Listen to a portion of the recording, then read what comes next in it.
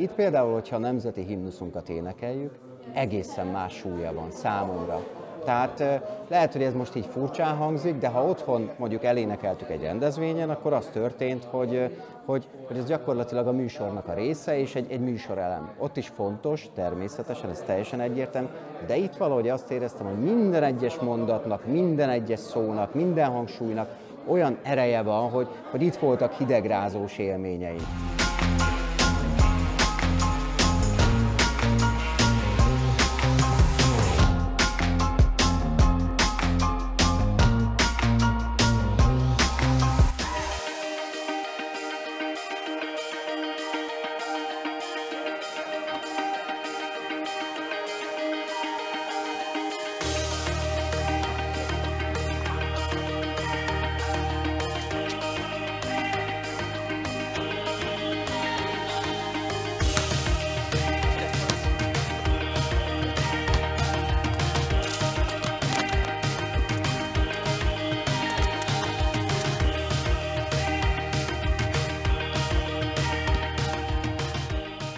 Az egyik felvidéki tábor helyszínére gurultunk be éppen, ahol Kaszás Kornél is tevékenykedik, aki a Petőfi program egyik ösztöndíjasa. Hozzájöttünk most.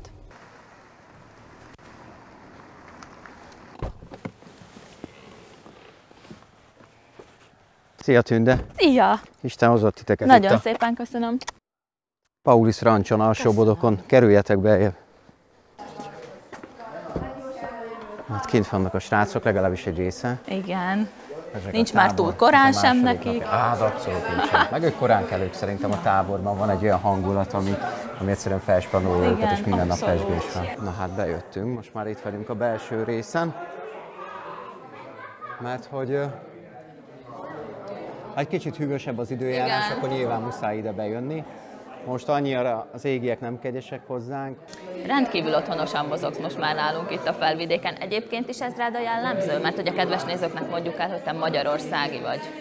Így van. Milyen értelemben ez rám a jellemző? Olyan Hát, értelemben, hogy én folyamatosan izgő mozgó vagyok, és szeretem feltalálni magamat? Igen, hogy bárhova letesznek téged, te ott rögtön otthon érzed magad. Nem feltétlenül. Nem, feltétlenül. És Nem. akkor felvidéken ez így Az, történt? né, ez így történt, de ez az emberek miatt van. Tehát én azért akarok visszajönni, ugye a Petőfi programban voltam én, mint ösztöndíjas, és ez már lezajlott. Tehát ennek vége lett ugye június végén, és most gyakorlatilag a nyári szünetben én tulajdonképpen úgy vagyok itt, hogy a csemadok is szeretné, hogy itt legyek, meg én is szeretnék, hogy itt legyek mondjuk ebben a táborban éppen. De egyébként ez azt jelenti majd, hogy én újra pályáztam, és hogyha újra visszajutok, akkor ősztől tudok jönni hivatalos formában. Most tehát tulajdonképpen nem hivatalos formában vagyok itt.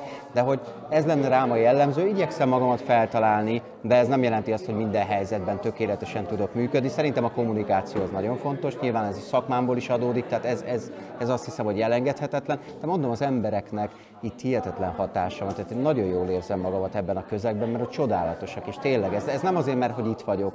Tehát ha, ha nem így lenne, inkább nem mondanék semmit. De, de tényleg fantasztikus emberek, nagy tudással, alázattal, odaadással teszik, csinálják, szervezik.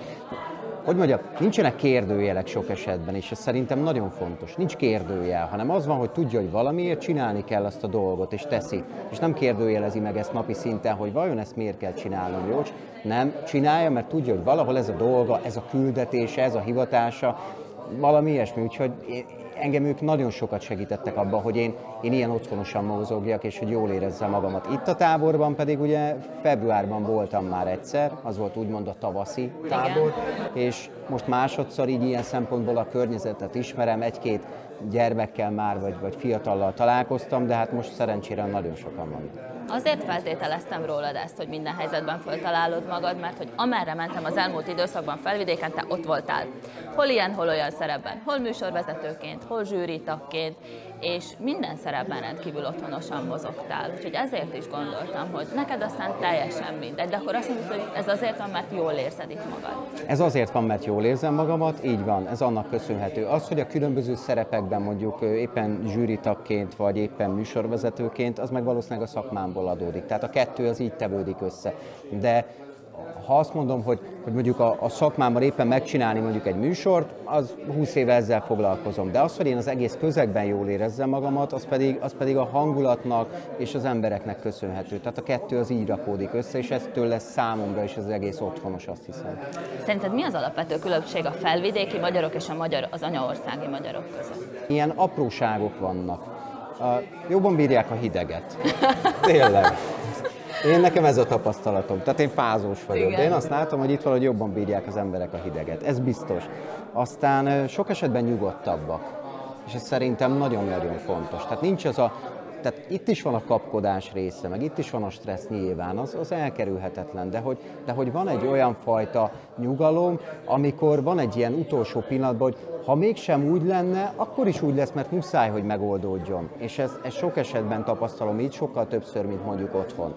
Aztán ami még egy különös élmény számunkra legalábbis, hogy itt például, hogyha a nemzeti himnuszunkat énekeljük, egészen más súlya van számomra.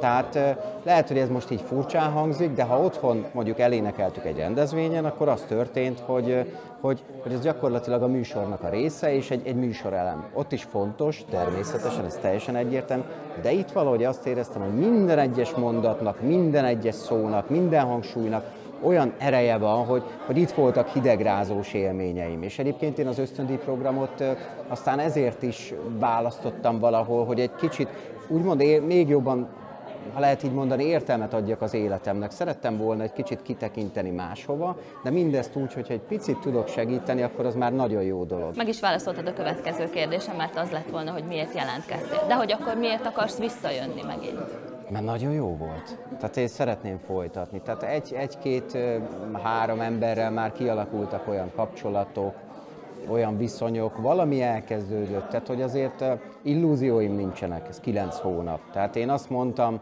hogy egy fecske nem csinál nyarat, ez biztos, hogy így van, de talán abban segíthet, hogy mondjuk egy, egy-két fokkal jobb idő legyen, vagy melegebb legyen. Tehát valami ilyesmi a, a, a mi dolgunk. És most az, tehát mi beszélgetünk, de, de nem én vagyok a lényeg. Tehát itt nem én vagyok a lényeg, nem a személyem a lényeg. Most éppen én mondom el, de majd évekkel később egy másik ember fogja remélhetőleg ugyanezt elmondani. Tehát itt ösztöndíjasokon van a hangsúly, és azon, hogy, hogy ez tulajdonképpen egy ilyen, egy ilyen, mondhatom azt, hogy kicsi kapocs a, a, az anyaország és jelen esetben a felvidék között. De hát ugye a program számtalan helyre viszi az ösztöndíjasokat, hogyha meg a Körösi Csoma programról beszélünk, akkor meg ugye még messzebb jutnak el az ösztöndíjasok. De hogy ez valami kapocs, tehát nem az ösztöndíjas személy a lényeg, hanem az, hogy, hogy mit képvisel. És én azt látom, hogy nagyon fontos például itt a, a felvidéken élőknek, legalábbis akikkel én találkoztam a legtöbbüknek, hogy, hogy, hogy az anyaország nem engedi el a kezüket, és ez is egy, egyfajta gesztus, ez is egyfajta jelzés, hogy, hogy, hogy itt van egy ösztöndíjas, és ő is próbál valamit csinálni. És mondom, nem vagyok fecske, meg nem csinálok nyarat. Ez egyértelmű. De valami elkezdődött, és azt jó lenne folytatni, mert hogy azért ez a kilenc hónap nem egy olyan hosszú idő. Tehát mire nagyjából belevág az ember valamibe, majd hogy nem az szedheti a csóklókját. Úgyhogy, úgyhogy valahogy így. Mi a te feladatköröd? Hogyan jöttél ide ki? Mit kaptál te feladatul? Ugye az nagyon fontos, hogy nyilván amikor pályázatodat beadod, vagy beadtam én a pályázatomat, akkor ott van, hogy én mivel foglalkozom, de az is nagyon lényeges, hogy az államtitkárság ugye meghallgatja a külső fogadó szerveket az adott országból, az adott városból. És ebben az esetben volt az, hogy a, a Csemadok keresett olyan embert, aki így a média, a kommunikáció, stb. területén mozog, és gyakorlatilag így találtunk egymásra. Tehát így, így, így volt ez a kettő.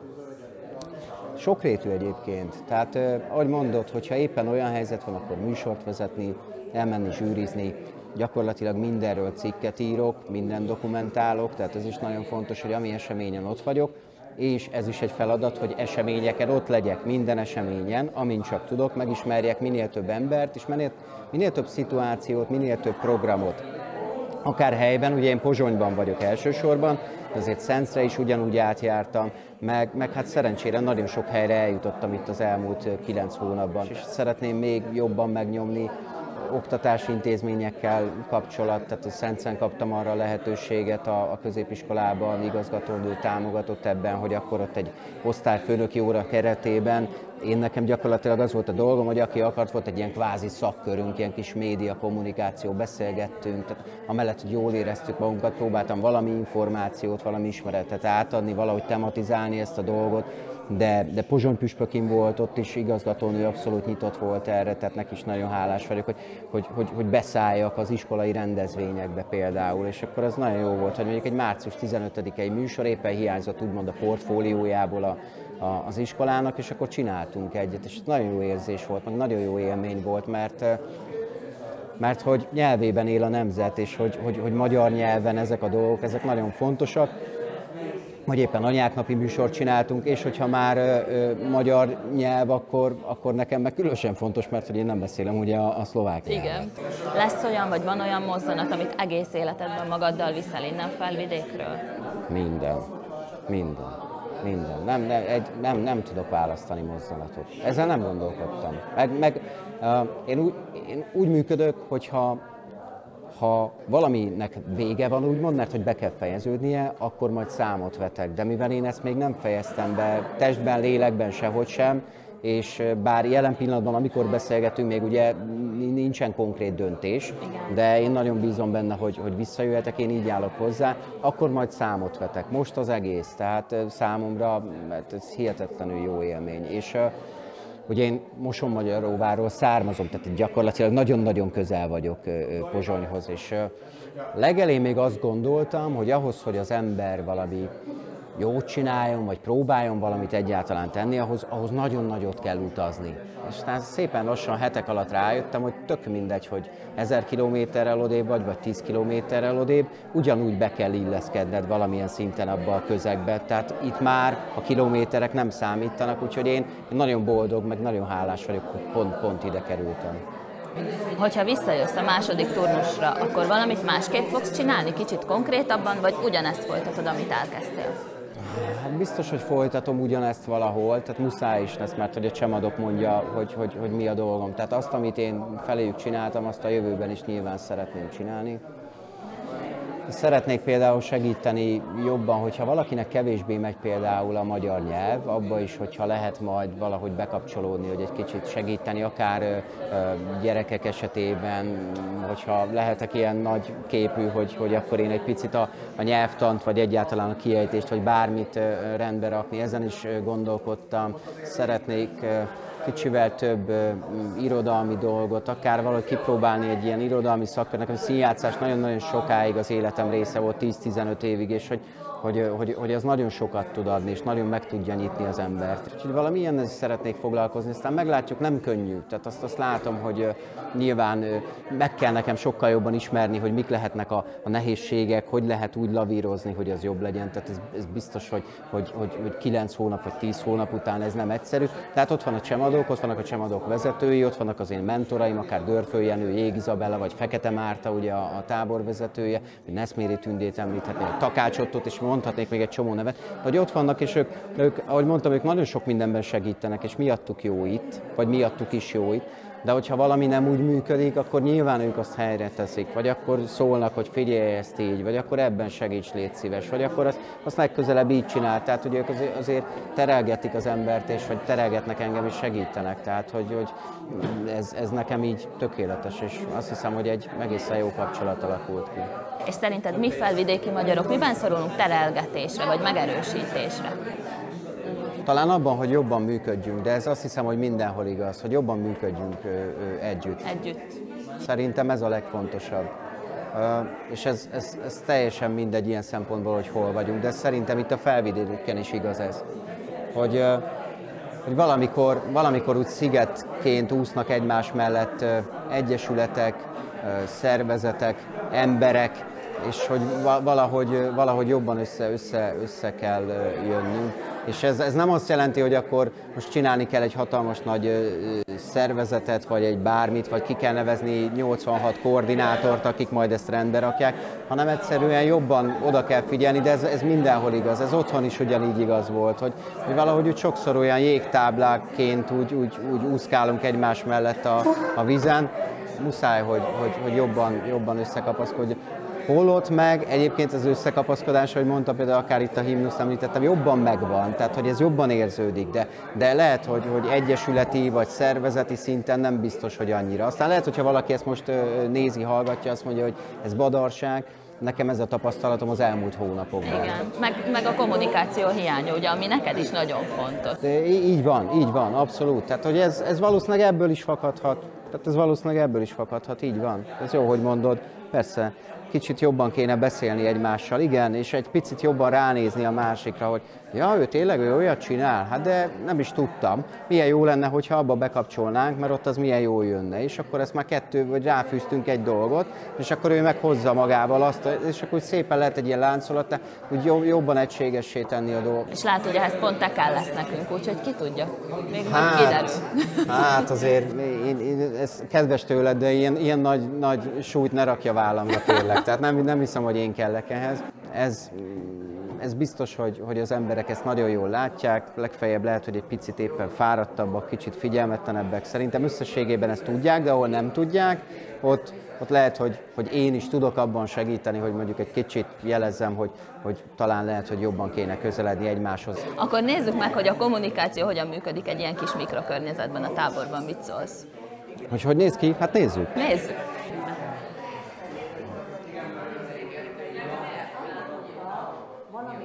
Kezdjük akkor hátulról. Így van, ők a nagyobbak. Hát meg van egy-két kisebb is, tehát nagyobbak. De egyébként nagyon komoly, hogy mennyien jöttek a, a táborba, tehát így a, a nagyobbak már. Igen. Ez a 14 év feletti korosztály, tehát tényleg És milyen jó, hogy ők még mindig táboroznak. Egyébként abszolút, ez nagyon fontos, én is azt gondolom, hogy tényleg sokan jöttek el, és uh, és most éppen társas játékoznak. A jó időre való tekintettel, ugye? Így mert, van, a jó időre Különben, ha verőfényes napsütés lenne, akkor nem bent ülnél. Hát persze, itt azért egészen hűvös tud lenni, úgyhogy azért ilyenkor bent, meg így, így is szerveztek. Szerintem ezt nagyon jól érezték egyébként Mártáék, hogy mikorra kell ezt a társasjátékos Igen. történetet időzíteni, mert hogy még egészen hűvös van kint, úgyhogy, Igen. úgyhogy jól működik ez a dolog. És, és, és ugyanígy itt folytatódik a társasjáték, és már egyet, itt már ugye a kisebbek is, ők egyébként itt laknak bent, ugye, tehát itt a, a, a belső részen, őnek itt vannak a szobáik, úgyhogy ők kijönnek, tesznek három métert, és már és játszhatnak, és itt a társas játékoznak. Így van, így van. Itt meg életre, halálra megy a játék. Hát igen, egészen komolyan.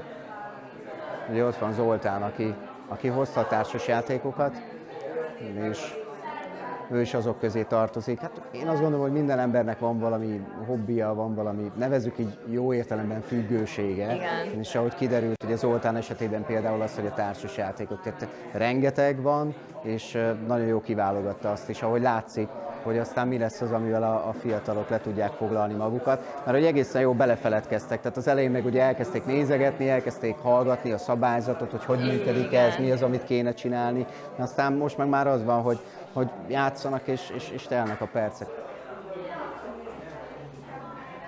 És itt pedig azok, akik ugye batikolnak, Igen. mert batikoltak, Pongrász Flóra vezetésével, ők ugye először benn kezdték, aztán gyakorlatilag kiköltöztek, mert ugye társas játékozók átvették ott a, a hatalmat, nevezzem így, és aztán ide jöttek. Most már egy kicsivel jobb idő van, nem fáznak, úgyhogy itt készülnek az alkotások.